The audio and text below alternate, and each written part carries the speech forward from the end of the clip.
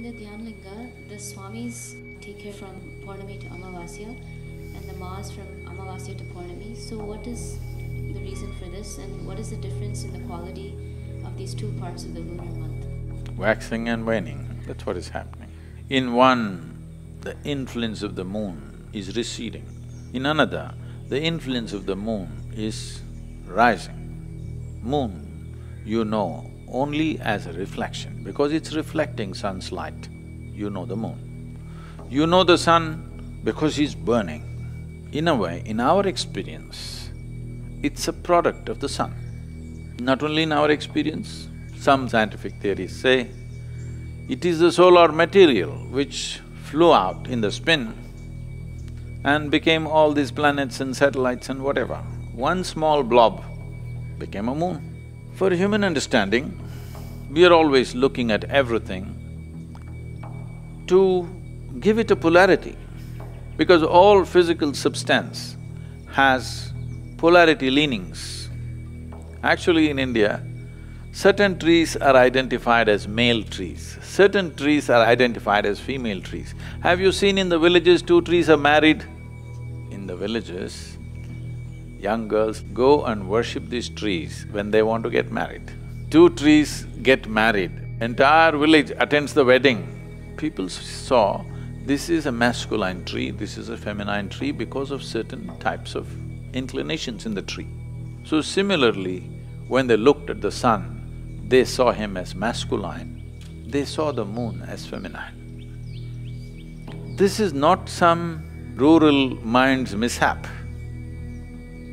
This is a reality. If they were wrong, the female body wouldn't be in sync with the cycles of the moon. The moon, in many ways, represents the feminine. If you are male, the problem with you is you're looking towards the female. If you are female, the problem with you, you're looking towards the male because in some way it's not there in you. If you are male, we want the feminine to rise within you. If you are female, we want the masculine to rise within you.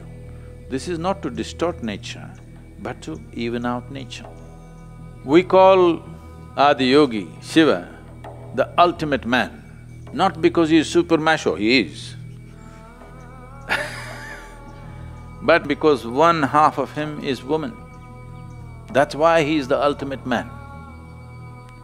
So the effort is to make you into that ultimate piece of human being who carries masculine and feminine in equal proportions within you. And you are able to conduct life in a very balanced way because these two things are equally there within you. If you're masculine, you don't have the feminine.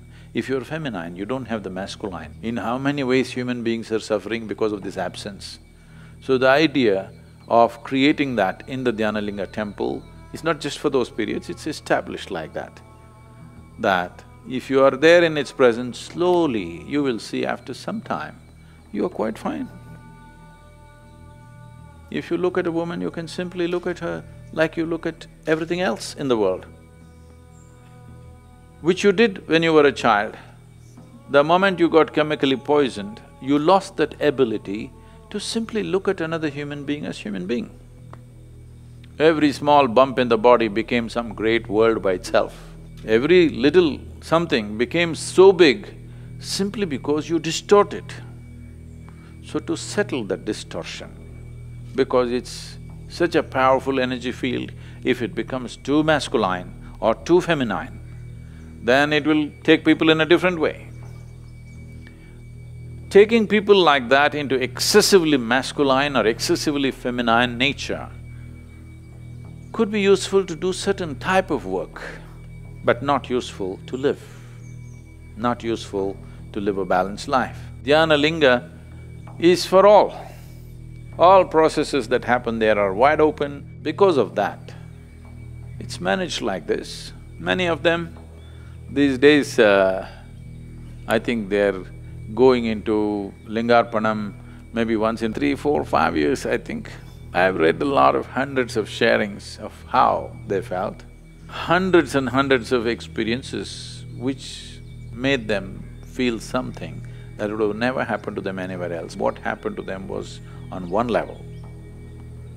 The masculine and the feminine within you got evened out.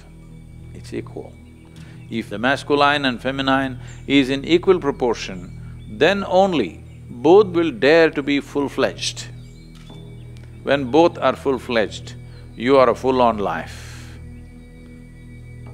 When you are a full-on life, suddenly you see the psychological process, the emotional process, the social process that's happening around you doesn't mean a damn thing to you because they're all just accessories. People need accessories when they're not full-fledged. You never looked at a man who's walking on crutches and envied him. Oh, he's got four legs, I got only two. If he had golden crutches, maybe you would. So it evens you out so that this is full-fledged. When this is full-fledged, you don't care what somebody has because being alive is better than anything else.